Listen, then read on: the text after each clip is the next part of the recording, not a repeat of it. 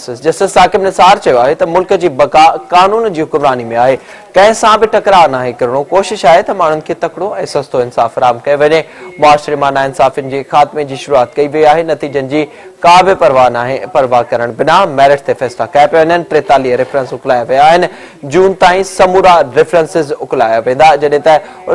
चवण जी अमलदारी ऐं मज़बूती अदालती निज़ाम ज़रूरी आहे सिपाही आहिनि ऐं आवाम खे चीफ जस्टिस जी बका जे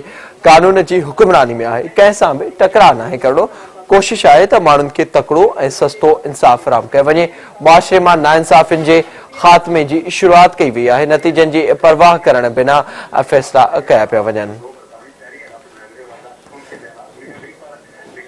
जीना सिनेमा खे ॿुधाईंदा हलूं त इस्लामाबाद हाईकोर्ट बार की तकरीब के ख़िताब कर दौरान चीफ जस्टिस साकिब निसार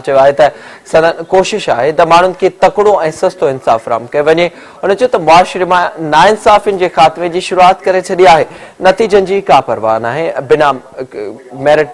फ़ैसला कया वेंदा अव्हांखे चीफ जस्टिस साकिब निसार चयो त हिन वक़्तु ताईं टेतालीह रेफरेंस मोकिलाए चुका आहियूं हू वाइदो करे थो त जून ताईं समूरा रेफरेंस मोकिलाए वेंदा त कानून जी अमलदारी ऐं मज़बूती अदालती निज़ाम ज़रूरी आहे